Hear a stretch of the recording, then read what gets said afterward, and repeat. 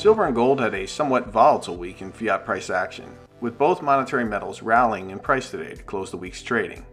The silver spot price is threatening a close around 15 fiat US dollars per troy ounce, while the gold spot price looks to be finishing the day above the 1,280 per troy ounce price level in fiat Federal Reserve notes.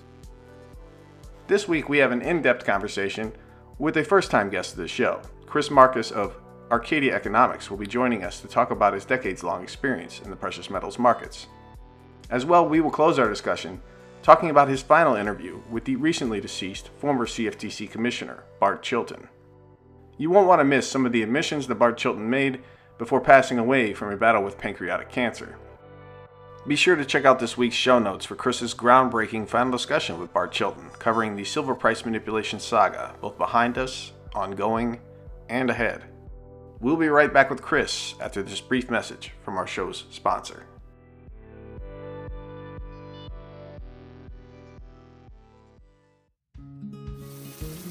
SDBullion.com is a high volume physical gold, silver, and precious metal dealer. Founded in March 2012 with the goal of providing the lowest cost bullion available, SD Bullion has become one of the largest US based precious metal dealers and is regularly recognized by Inc. magazine as one of America's fastest growing companies.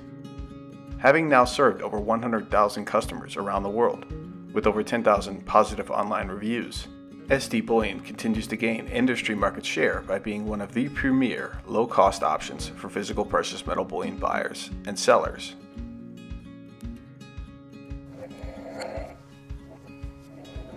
At SDBullion.com, you can order your guaranteed physical precious metal bullion products online 24 hours a day, 7 days a week.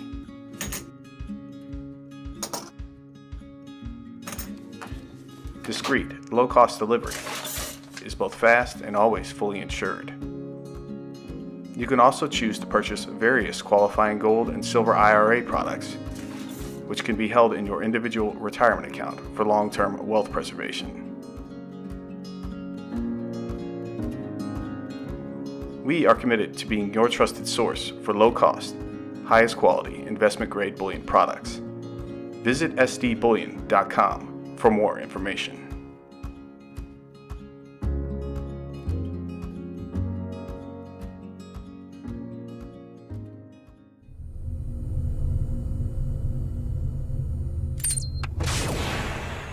Welcome to this week's Metals and Markets podcast. I'm your host, James Anderson of SD Bullion. Today is Friday, May 3rd, 2019, and it's noon Eastern Time.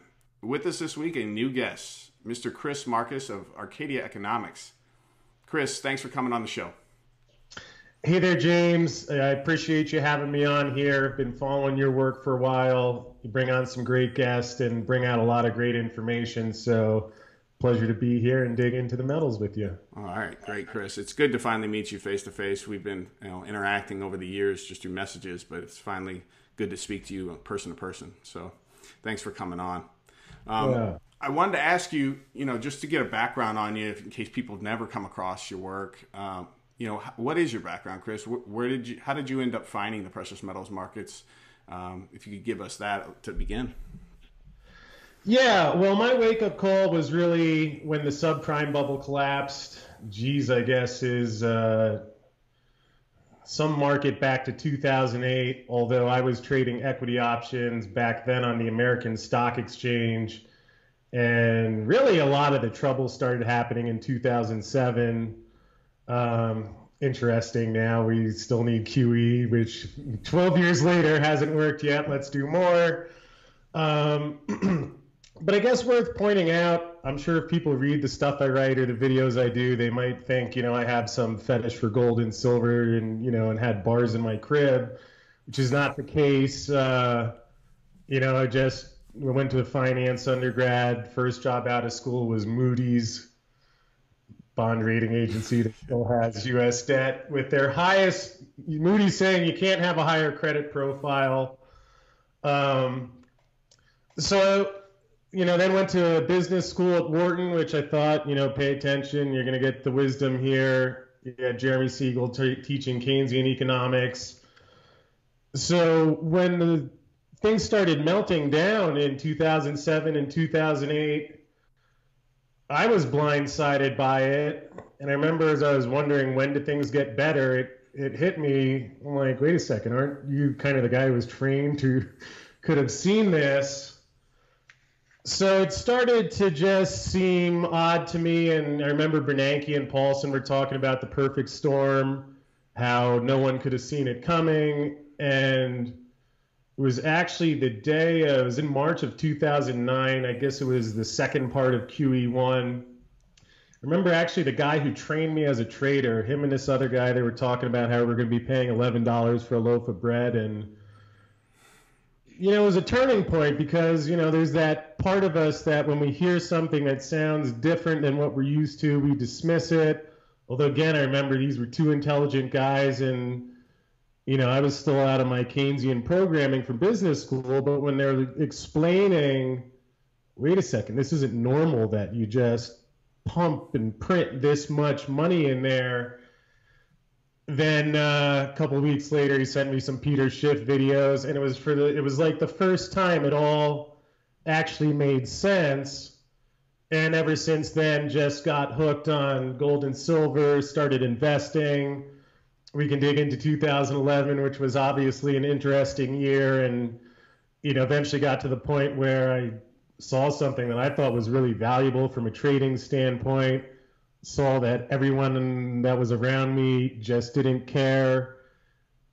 You know, it's it's not that they're not smart enough or intelligent enough, but I mean, it's not what they do. You know, if you go there and you're making markets in some derivative, you're you're a specialist in that. In many ways, the system isn't really designed to help people see the bigger picture, which you know, with that said, I thought was pretty darn relevant, um, especially as you dig into the metals and see. I think most folks who approach it with an open mind find quickly that things are not quite as advertised and in how it's set up. Yeah, when you start going down the, the price discovery rabbit hole in various markets, especially precious metals, it's uh, it's kind of ass backwards, uh, and it's very convoluted and very complex. Uh, but uh, all in all, you start to learn that derivatives really run the show for the most part.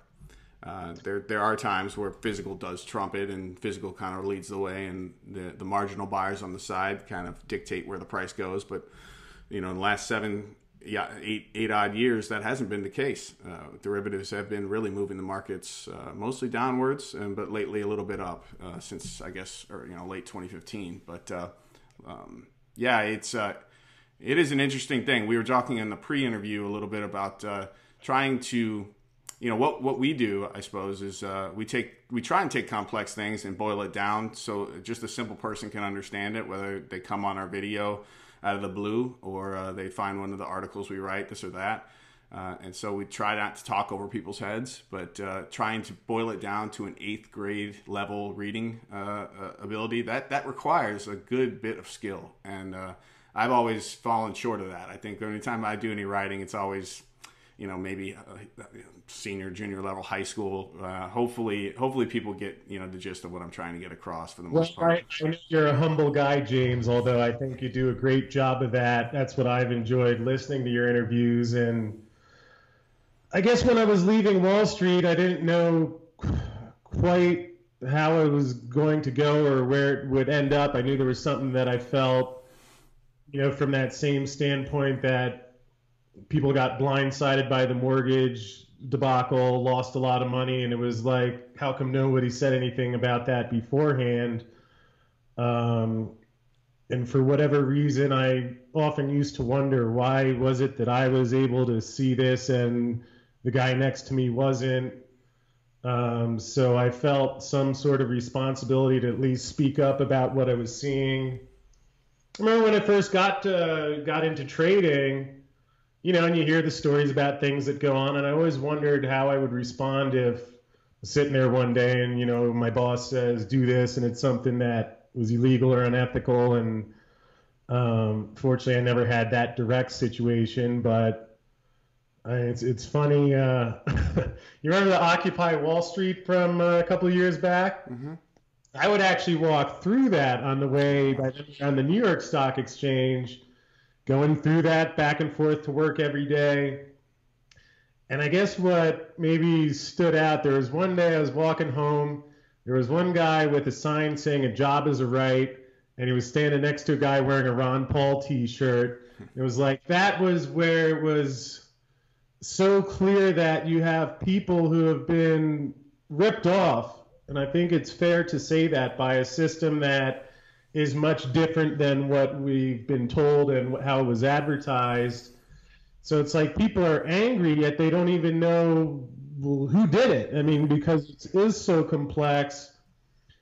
And as I thought of what it was that I could really offer, uh, I mean, I love listening to interviews about silver and you know all this stuff that goes on, and wanted to in some way put it in context so that you know, my mom could understand it or, you know, just regular people because when it's explained clearly, it's something people can get. I've run into a lot of people who say they were afraid to ask more because they thought they would look like they're stupid. And The Big Short really did a great job of pointing that out.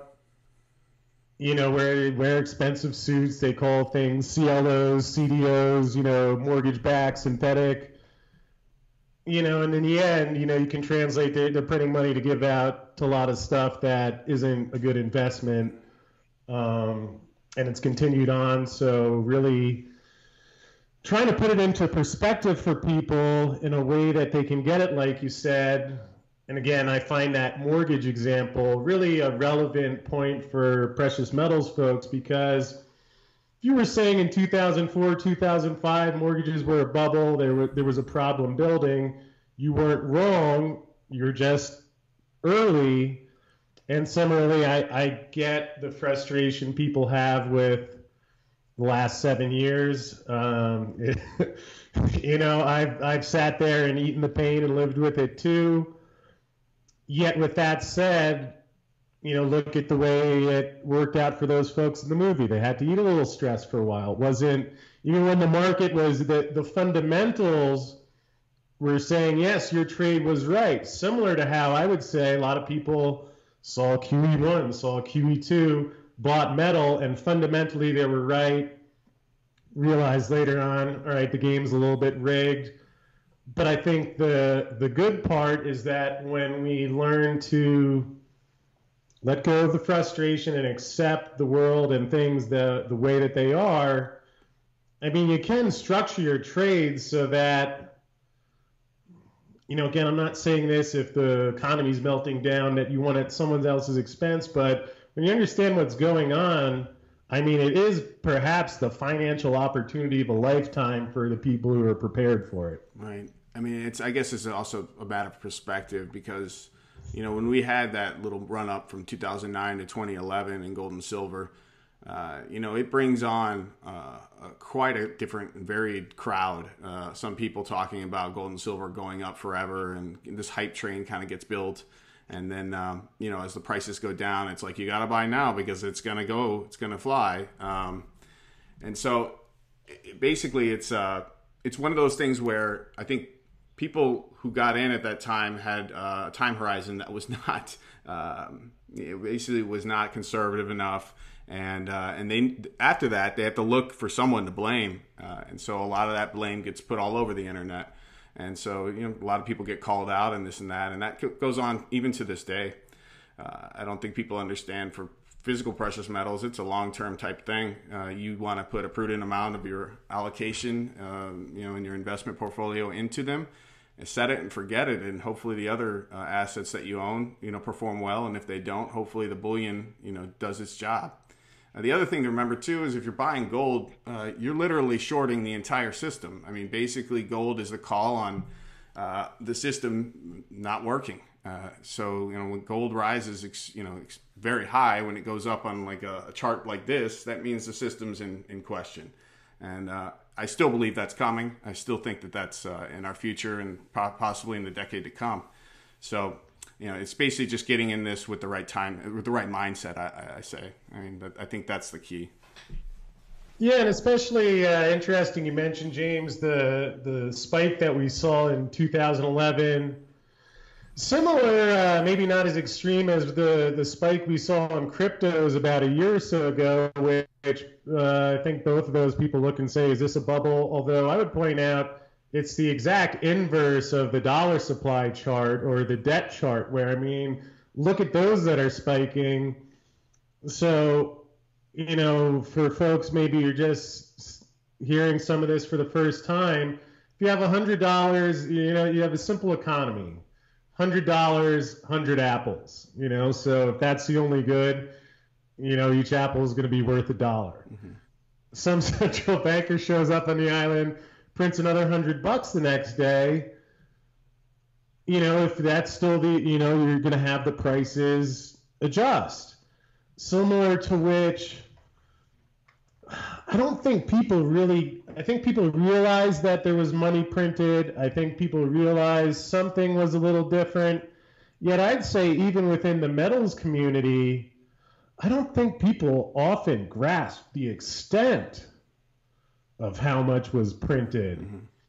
Keep in mind the Fed's uh, balance sheet was about slightly under 900 billion in uh, August, September of 2008 went up. Uh, I guess it was over four trillion. Um, it was funny. I've still not heard really anyone else mention this. I, I just happened to be watching one of Powell's Senate appearances about a year and a half ago, and one of the congressmen says to him, uh, "You've mentioned before that." In terms of normalization, you're going to bring the balance sheet back to two and a half to three trillion over the next three to four years. Powell just looks at him and is like, "Yeah." I'm like, what? what? What?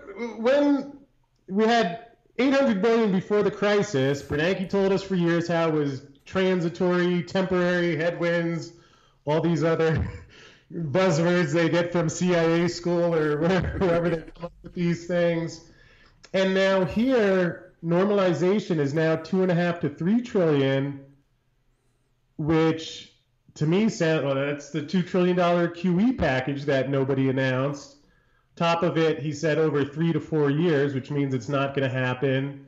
And sure enough, it did it. Mm-hmm. Mm-hmm. Yeah, and no, that, I mean, it, it, just just you're talking about late December is a, is a freak out show uh, as far as the stock market's concerned. You know, before this interview yesterday, I did a I use this tool a lot. Uh, anyone out there can can find it. It's called Google Trends, and I did a Google Trends search for the the search of Dow D O W, and that's what any you know monkey with a phone on you know in their pocket can can enter into their phone search just quickly to see what's going on in the stock market. So it's a good read and tell on you know what the interest is and whether or not people have a lot of emotion. Uh, and so I looked at it, and the Dow Google Trend search was the highest it's ever been in December of 2018, higher than even uh, the fall of 2008 and that's possibly because people are more connected now. But it still was a freakout show, and what Mnuchin did on Christmas Eve was, uh, you know, that was the tell. It's like it's obvious that they're they're going to in- intervene the whole way to prop up the pensions, to prop up the system that they painted themselves in the corner uh, with, and so expect more interventions, more often, more explicit. More obvious, and, and that's coming, and that, that's already happened just a few months ago, and that's coming ahead. So I just get used to it.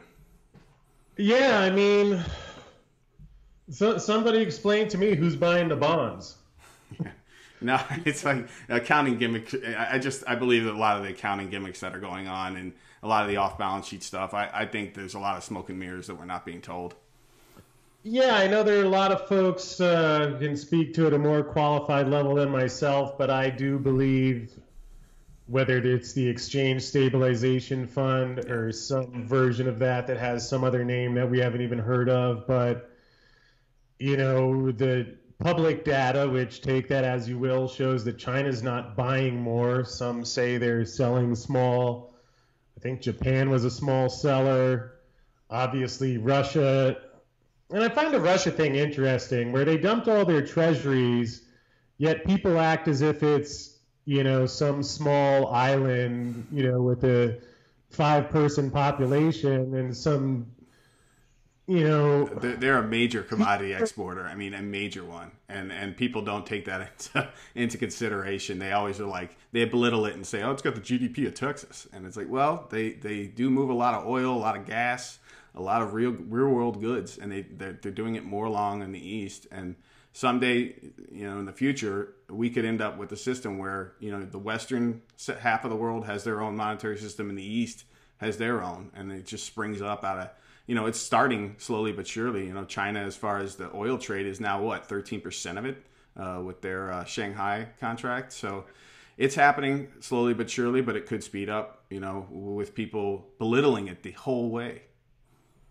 Yeah, that's that's the thing that I would say to folks who, you know, are feeling frustrated about the metals pricing. Where again, I get that and I understand it. Although, similar like where the signs of the mortgages were there. I mean, we're not talking about well, maybe one day China will do this or Russia will do that. I mean, I sit here stunned by the day I see these news headlines. All right, uh, I guess a couple weeks or months ago, Russia was talking to OPEC about some new arrangement.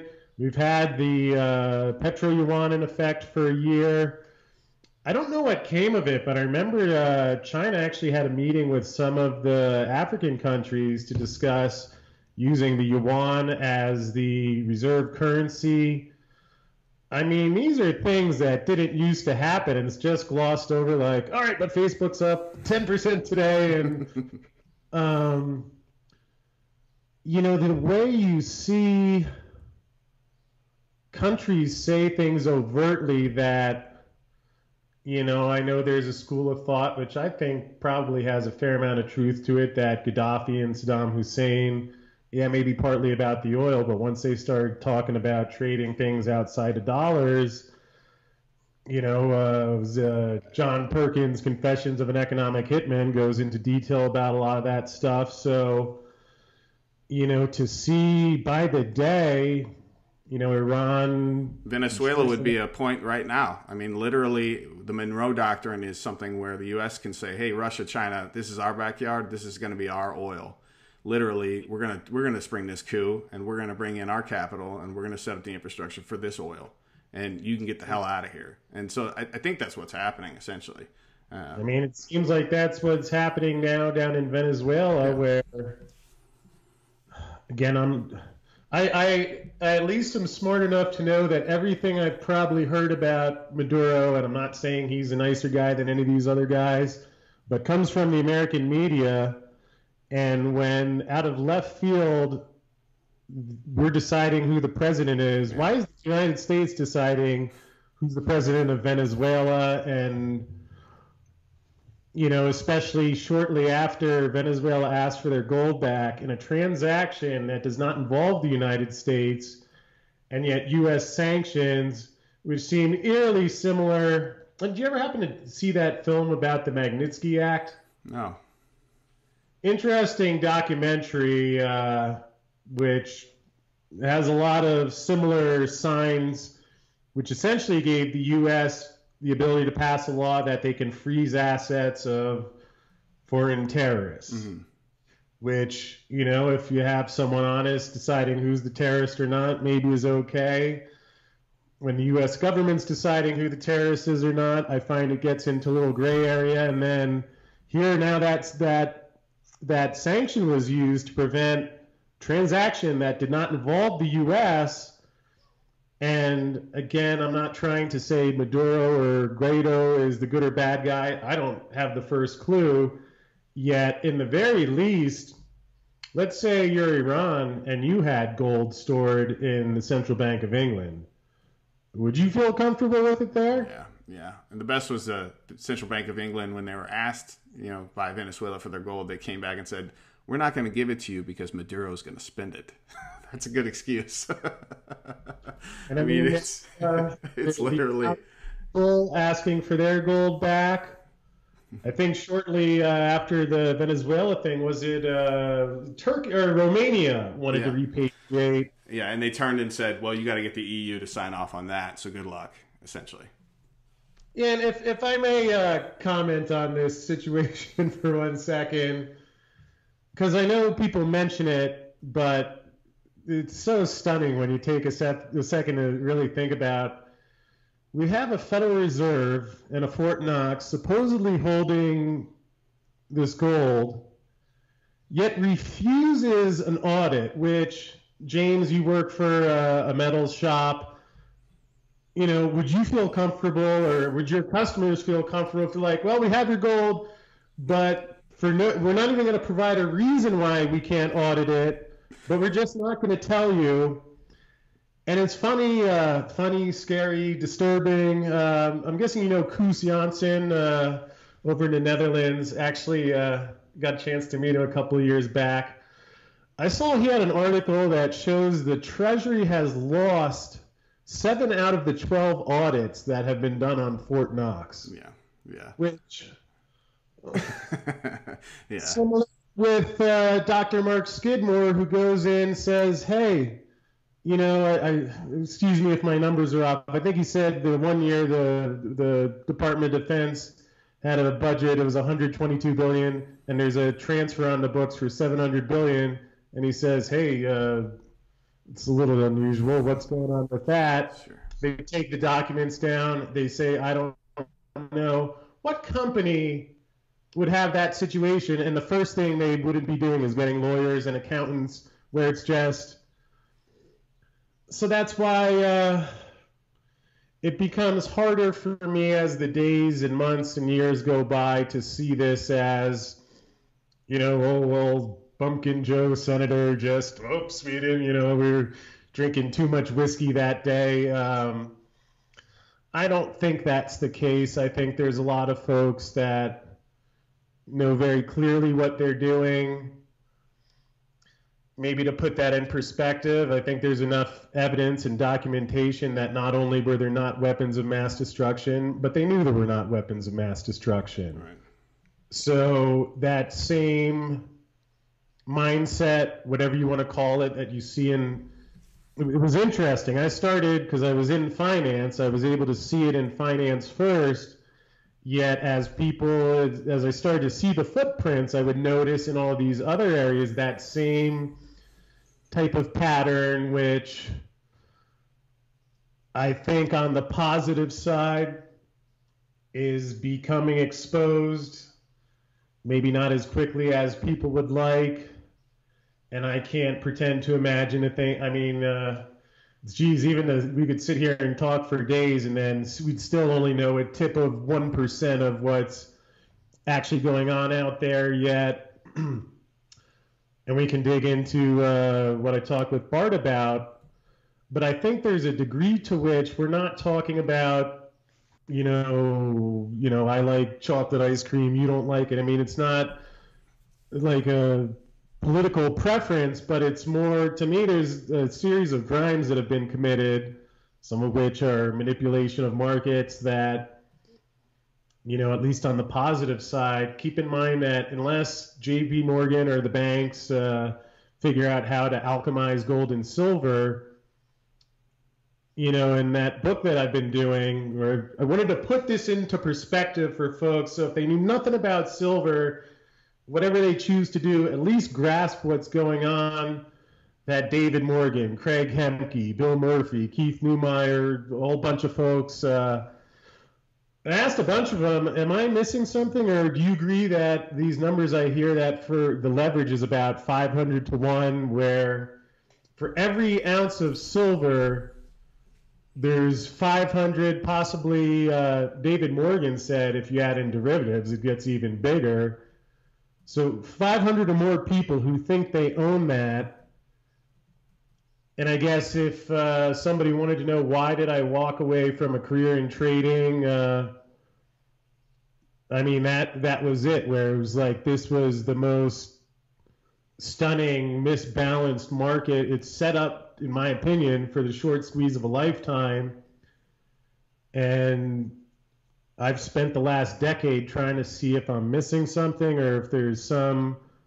Although you know now I've been sitting here talking to anyone I can find in silver, and they, everyone says the same thing. Yeah, yeah. I mean, even Jeff Christian's out there talking about uh, you know new nominal highs for gold at 2022, uh, given some recession coming up, and you know silver threatening 50 around that time. So even uh, what some would deem a, an apologist of the system, he's out there uh, talking a- absolutely bullishly about what's going to happen with precious metals in the coming years. So, uh, you know, from the far spectrum of uh, the apologist all the way up to the to the pumper that some you know might might claim some people are. Uh, I think there's people who are who are you know uh, I would say uh, pretty confident that this coming decade will be good for the precious metals. Now, I wanted to ask you, you know, since you've been in this for so long, what are some of the biggest lessons or, or perhaps some of the mistakes that you've made along the way? Huh. Well, I would say the biggest lesson uh,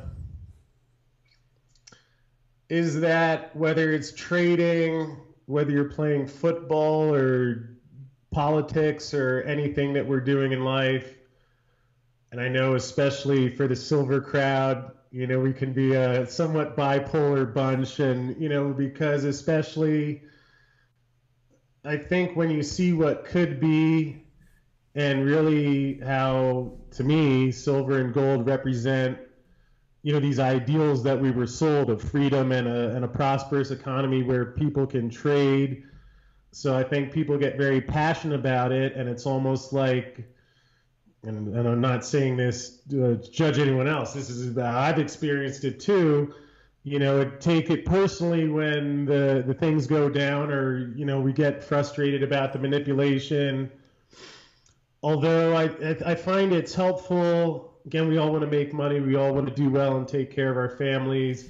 And I think when you're studying this stuff and you have an open mind, that naturally falls into place.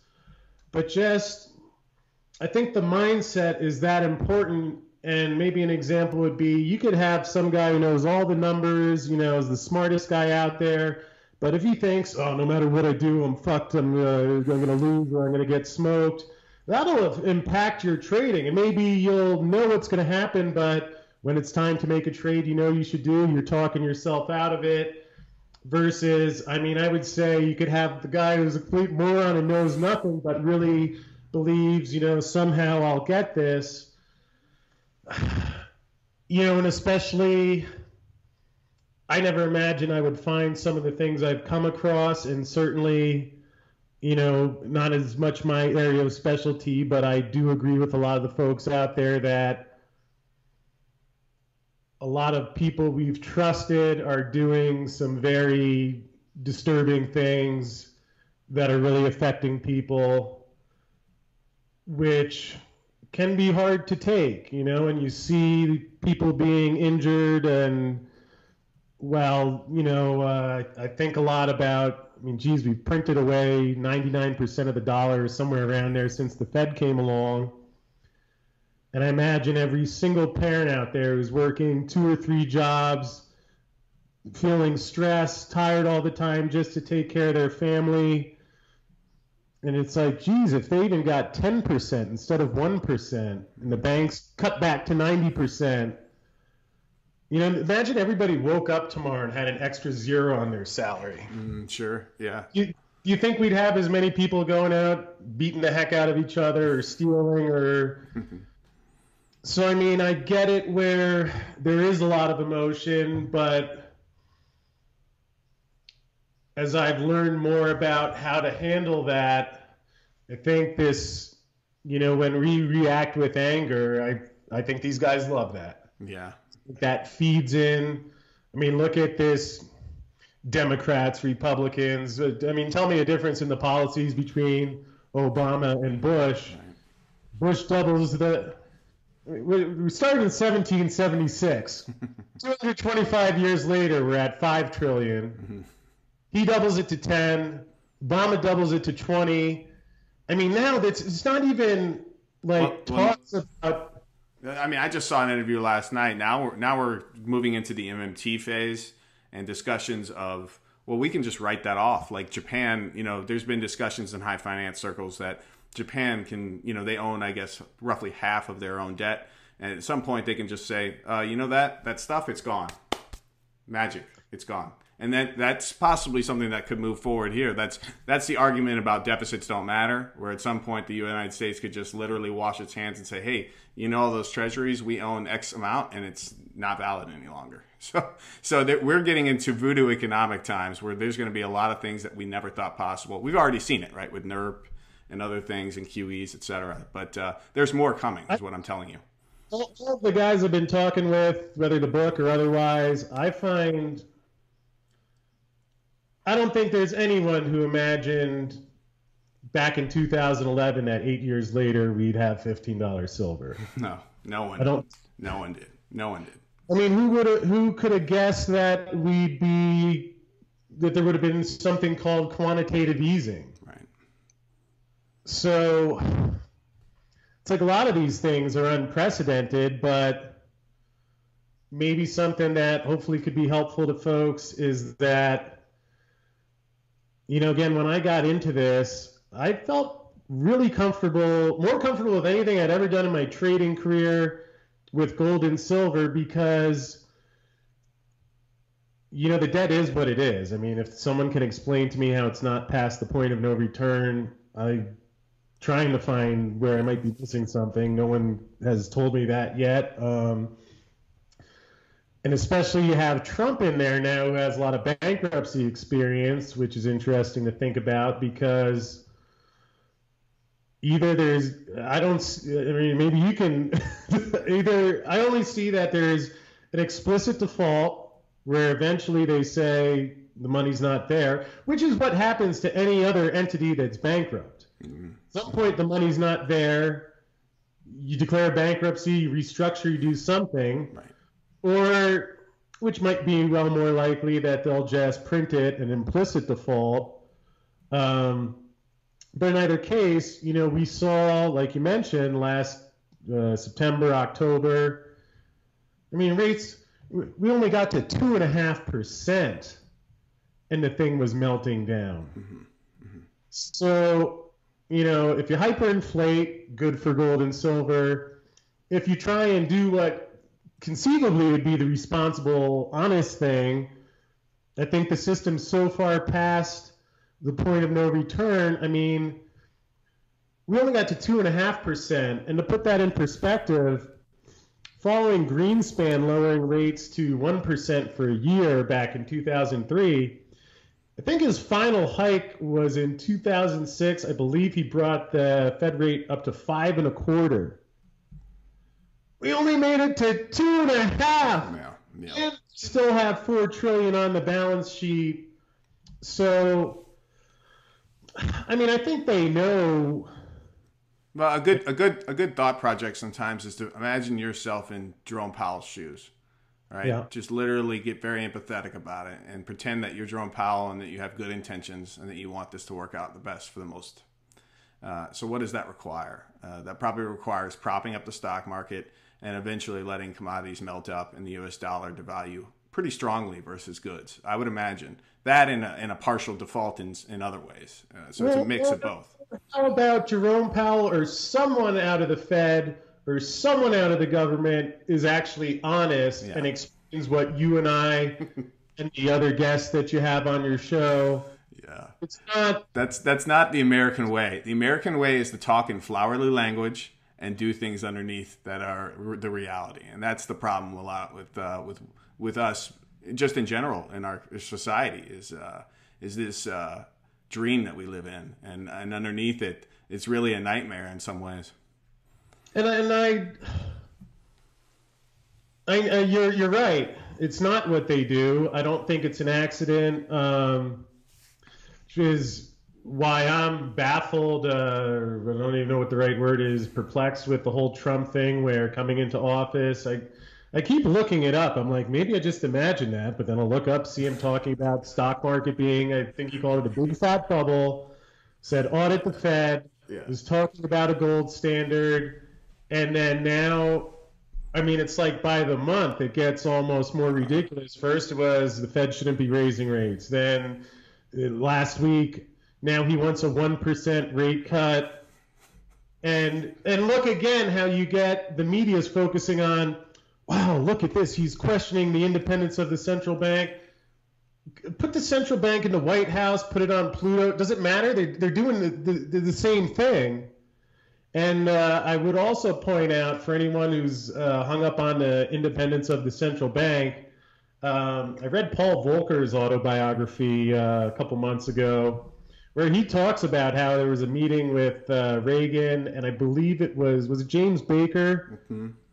I, I apparently Reagan didn't say anything, and I think it was James Baker basically came and said, "Don't raise rates until after the election." So yeah, it's political for sure, no doubt. And, and all Trump needs is a bad recession. He's out of here. I mean, that's essentially why he's he's beating the drum so hard about. Uh, you know, we need stock prices to be high because I need to get reelected, essentially. And that's what I read out of it.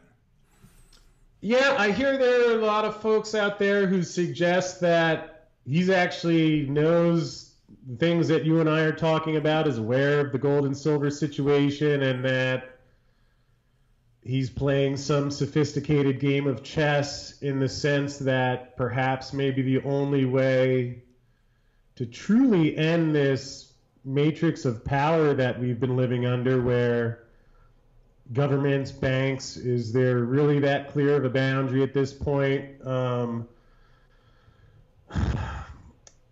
so I maybe I'm hoping for that more than thinking it could be the case, although it is baffling where again just such you know, and maybe he's just like every other politician in the end and says one thing coming in and then one thing that he does, but um, certainly fascinating to imagine what's going on behind the scenes. We hear about these arrest warrants, indictments. Um, yeah, I think that's hope. I think that's just pure hope. And uh, my hunch is, you know, whether or not he gets reelected, you know, we'll we'll, we'll hear a different tune. Um, people mm-hmm. will turn back if he doesn't get reelected and say, "You see, it was all because of that investigation they were running. He wasn't able to go after people and put them in prison." That'll be one excuse. B, if he gets reelected, then they'll just keep talking. Yeah, indictments are coming, indictments are coming, and, and my hunch is they won't.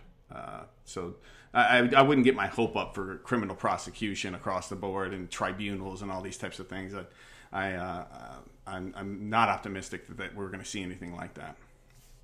I can certainly understand that, and uh, it's it'll be fascinating as stuff comes out over the years and uh, next couple decades. I mean, who I can't even imagine what's going on behind the scenes that we don't see. Mm-hmm. Again, just reacting to the things that I'm presented with publicly, where here's your largest creditor, you're calling them a currency manipulator, starting trade wars, doing everything possible to antagonize them.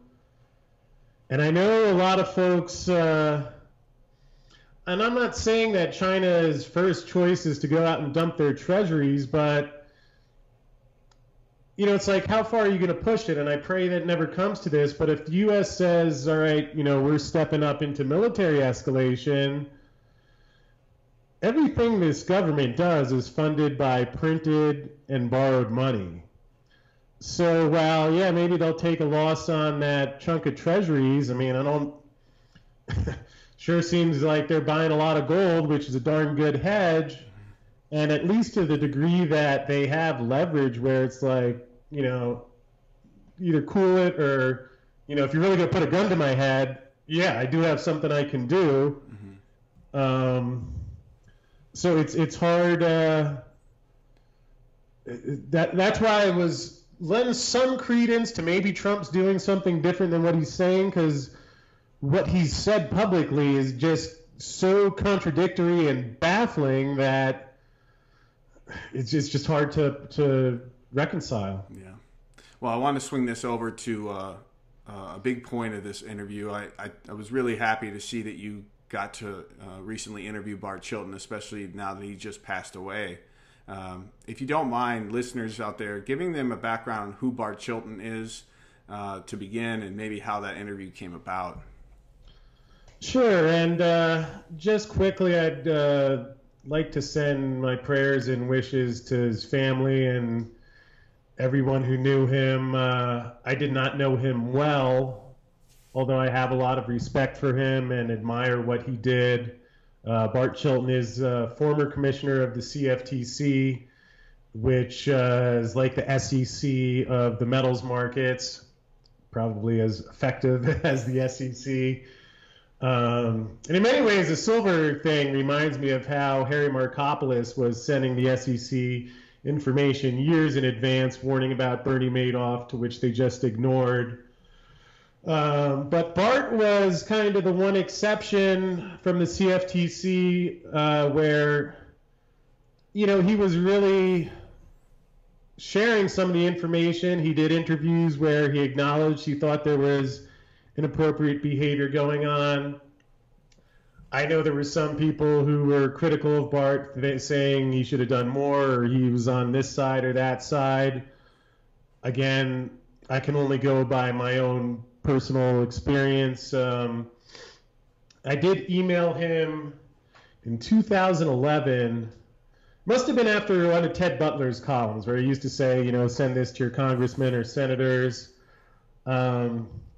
Because I think the first thing that really made me start realizing something was not right in this market was September of 2011.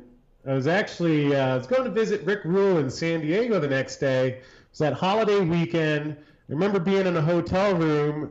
This was after the U.S. had gotten downgraded, and everyone was saying the Swiss franc last safe haven.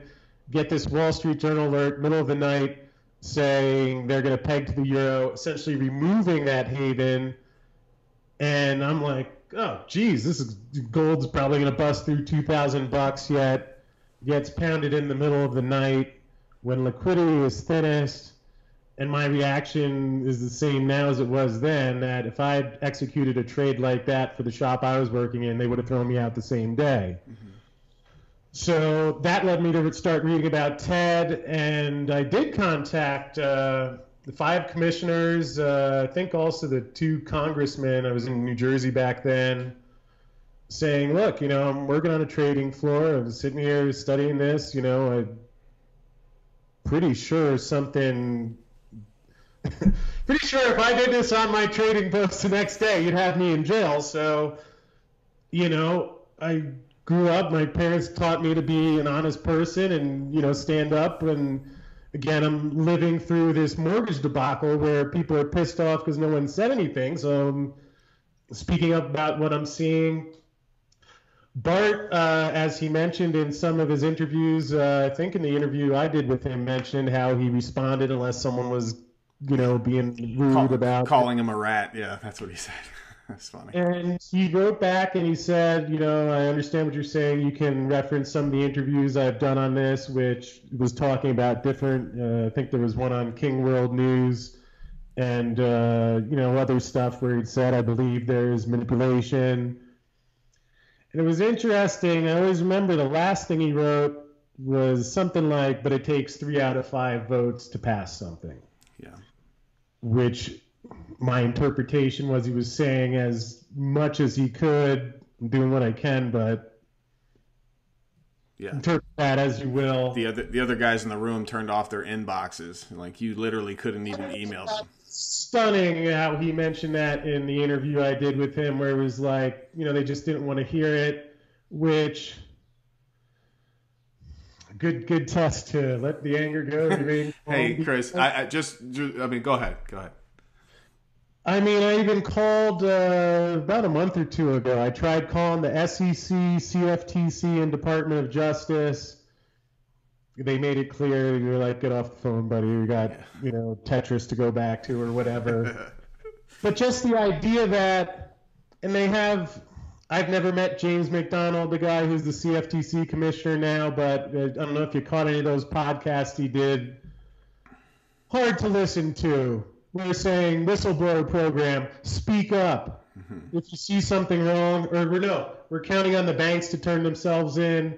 And a big thing to me was if you're really doing a legitimate investigation, why was Andrew Maguire uninvited from that CFTC meeting?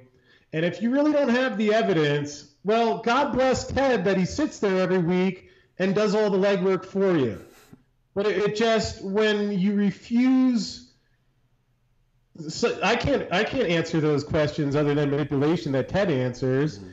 and and I would like to point out that Bart, as well as John Edmonds, I think a lot of us believe Ted was correct and something very similar. Now there's no shadow of a doubt. Mm-hmm. Mm-hmm. Now it's been confirmed so, you know, again, I always appreciated that Bart said that back then. It followed uh, through the years, and again, you know, was uh, wanted to do a book where just you know all the you know guys who really get this and what's going on and can add something. Uh, so it was uh, there was actually at Anarchapulco down in Mexico this year. I was was thinking about the uh, book and and Bart's name popped into my mind.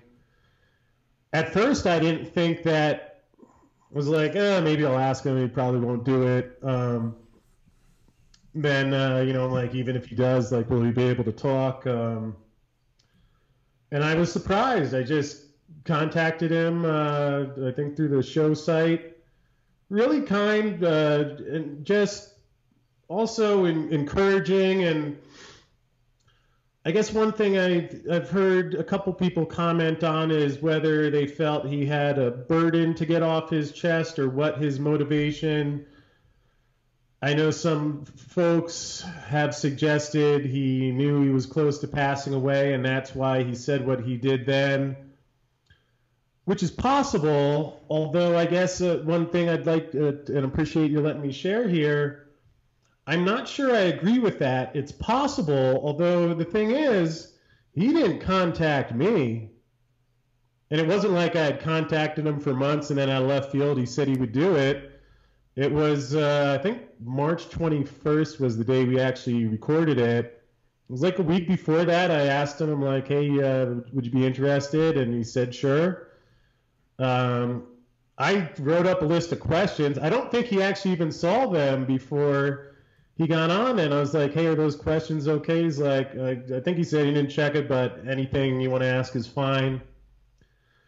He said before the interview, during the interview, and after the interview, something to the effect of, you know, I really appreciate, didn't saying to me, he's like, I really appreciate you're getting this stuff out here because it's important it be heard. I mean, I'm, I don't know, I always feel grateful someone makes time to come talk about it and, but I felt that it was not. I didn't sense any that he felt guilty. I think he felt proud that he did what he could and felt there was a lot of information that needed to be out there. I don't know this for sure, although my guess is I wonder if anybody ever else asked him to do an interview like that. Yeah. Yeah, probably not. Probably I mean, not again, uh, you know, there's a lot of smart folks, of which you're one, and there's other folks in the metals industry. Uh, you know, but just saying in the sense where, you know, it's like you and I, we've both been digging into this for 10 years. So maybe to ask, to know which questions to ask, maybe not everyone has the same perspective. But again, as I was thinking in my thought process, even like, you know, when I first thought I'll interview him, oh, he won't want to do it, or, you know, so I'm guessing maybe other people had similar, or yeah, yeah. I, I, don't know, but um, so to that degree, uh, I, I I couldn't say for sure, except the impression that I got was I found him to be a really kind, honest, genuine man who believed in what he was doing and felt it was important for that to be on the record he even had uh, offered he's like hey when your book's finished come on to my show and we'll discuss it. So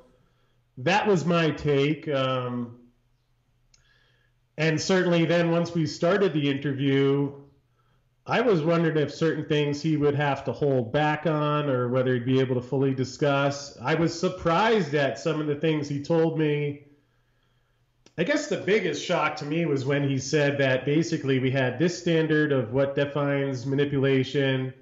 They did the investigation. Later on, he had the, the standard changed so that had that same investigation been done now under the new rules, that there would have been a conviction in his opinion. Um,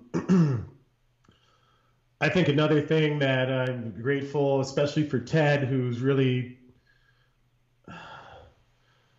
I think a, we all owe a lot to Ted in a sense because I was always careful about saying JP Morgan did this or that because, hey, you know, there's what I can prove or what I believe or, but you know, Ted found the stuff, put his name to it for years, you know, and certainly, you know, a bank that has God knows what legal resources. Yeah.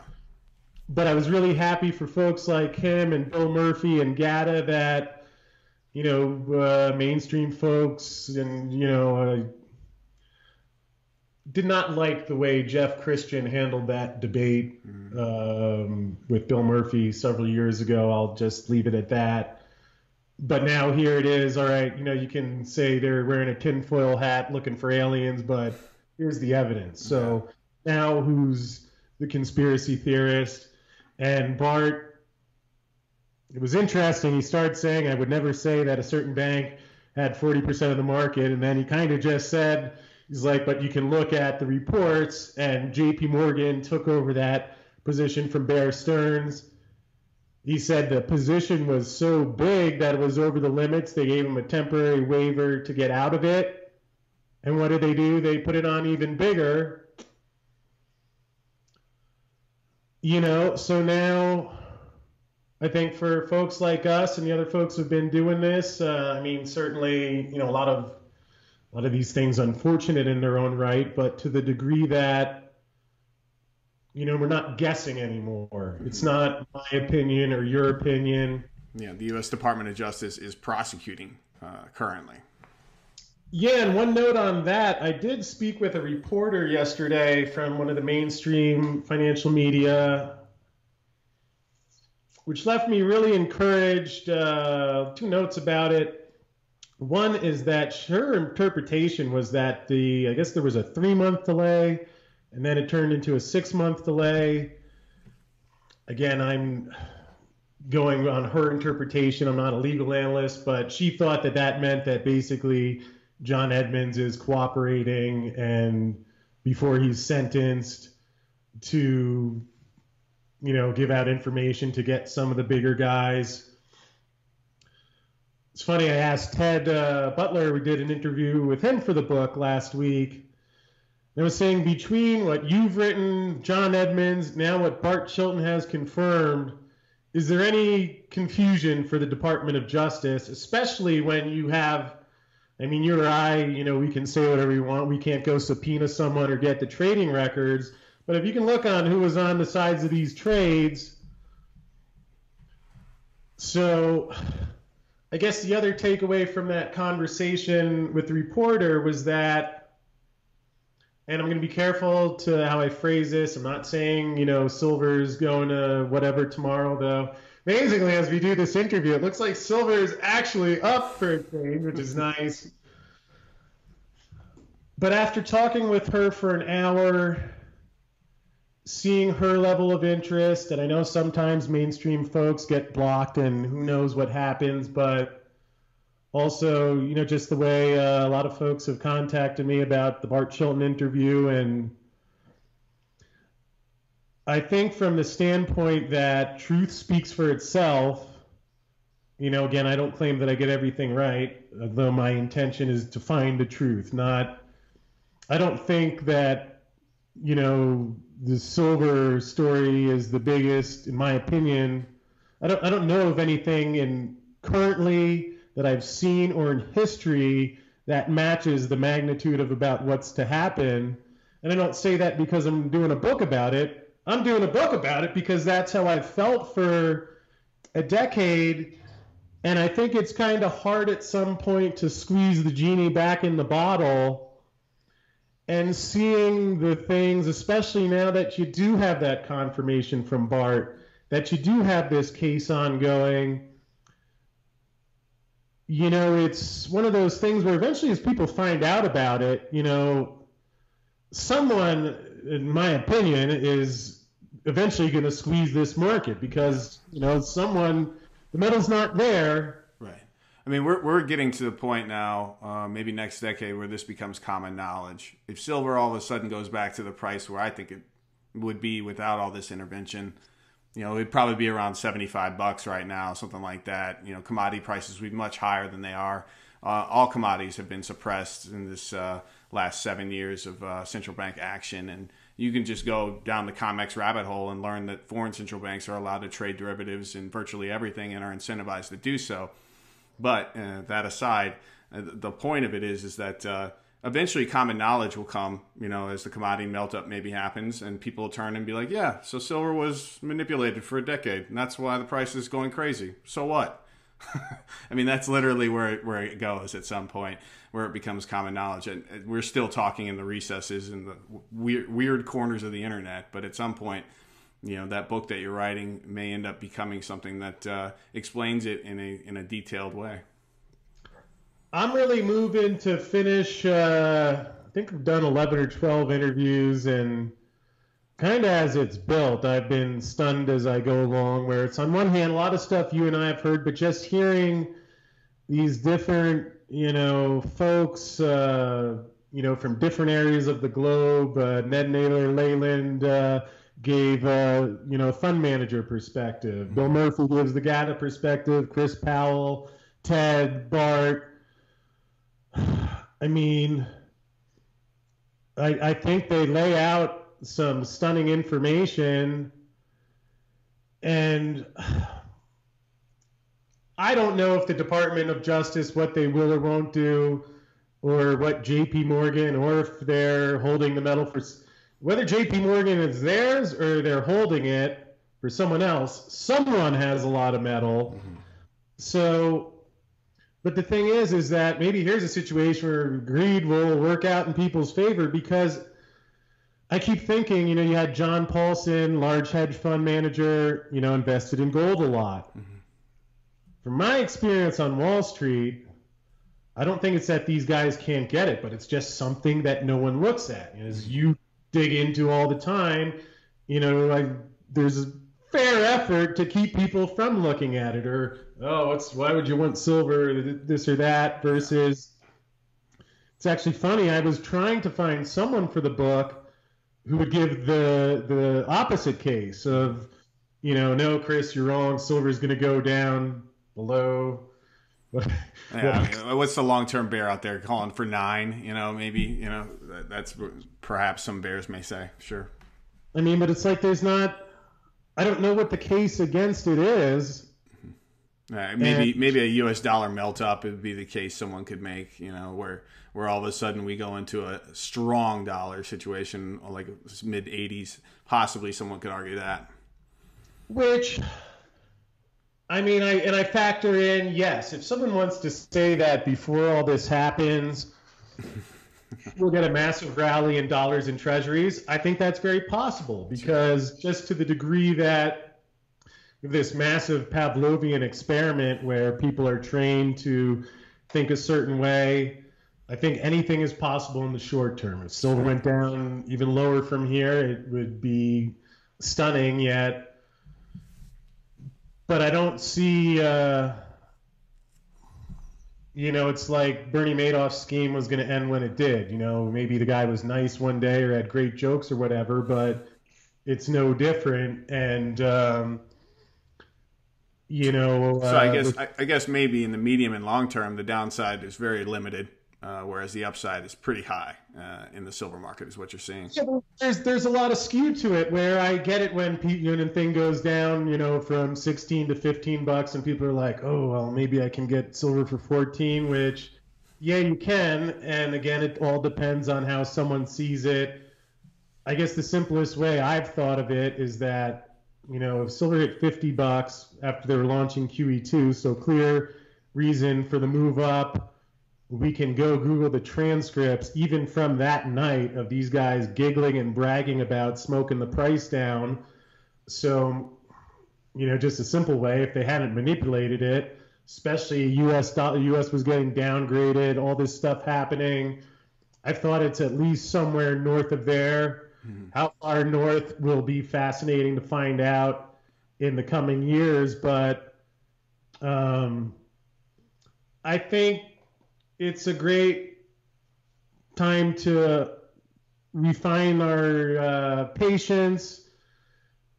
All these different folks I've interviewed, even about silver outside, you know, they they talk about, hey, the way I've made the most money in my career is when I buy things that are cheap.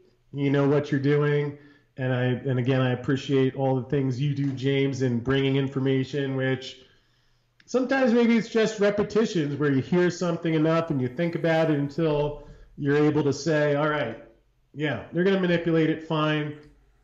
But the best thing about the physical metal, you know, I stay away from most of the paper stuff. Um, I do some mining shares and option trading. Maybe someday we can dig into. Uh, I'll tell you what, if there's a move coming into metals, not being priced into the option market, mm-hmm. but obviously that's a much different investment and a different risk class. But for most folks, if you buy an ounce of silver, an ounce of gold, tomorrow it's going to be the same ounce of silver or gold if you leave it there. So structuring your trades, maybe my other lesson, as you asked before. When I left Wall Street, I had about $250,000 saved because I was leaving. I didn't have another place to go. Although actually, I didn't have $250,000 saved. I had that equivalent in physical bullion, mining shares, or options. Mm-hmm. Now, I'm not saying that to recommend to anyone else going 100%, which, you know, at times has been painful. Although I say it just in the sense that after working for what I felt was a particularly smart trading shop, you know, where from a trading standpoint, similar to poker, you're not always looking for the home run. When the single's there, you take it. Yet, just my overall impression between trading background and what I was seeing, you know, again, like you were saying with the skew before, yeah, it could go down. Maybe somehow it goes down to 10 bucks. I don't think that's going to happen, but to me, you know, am I going to try and get another dollar there versus just you know, if you don't lever yourself, don't necessarily do what I did, but hey, if you have an extra 200 bucks or $500 every month that, you know, you can still pay your expenses and you leave it there. I think it, I, don't, I can't find anything else that I would rather have if I had children that, if I had to leave something that I couldn't touch for 30 years. Yeah. Um, personally, I don't think it will take 30 years. Uh, I think it's on borrowed time and, certainly be fascinating to see how it goes. Mm-hmm. Well, Chris, I really want to uh, thank you on behalf of our listeners uh, for coming on, and uh, I do hope that when you get that book done, you, you'd uh, you know be nice enough to come along and, and, and show us the book and tell us about the book and all your findings along the way. Yeah, I'd love to do that. Uh, again, it's great to finally catch up with you. I really do appreciate what you do, and I know it's not the easiest path in life, but you've you've made a difference for me. In fact, before I was reading, uh, interviewing Ted, I was reviewing your interview with him, which you do some great stuff. I think uh, maybe I didn't realize this in the beginning. I think it's bigger than just finance, because I think we're going along and seeing there's things, uh, you know, that are happening where I feel grateful and honored to be a part of, and uh, you know, certainly unfortunate about Bart passing, although I, I feel uh, blessed that I was able to speak with him and um, really kind man. So, again, thanks for having me on here. It's been really fun catching up with you. Yeah, Chris, thanks so much.